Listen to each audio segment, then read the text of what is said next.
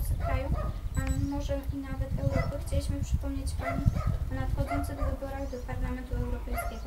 Na pamiątkę naszej wizyty zostawiam tą skromną ulotkę, by Pani pamiętała o nadchodzących wyborach, które odbędą się 7 czerwca bieżącego roku. Nie wiem, czy mnie przekonacie, bo od dawna sobie myślałam, że nie pójdę na te wybory. Bo całe życie chodzę i zawsze jak wybieram, to okazuje się, że jest źle. No ale skoro młodzi ludzie tak mówicie, zastanowię się. I za przypomnienie dziękuję. Dziękujemy. Życzę wszystkiego dobrego. Wzajemnie.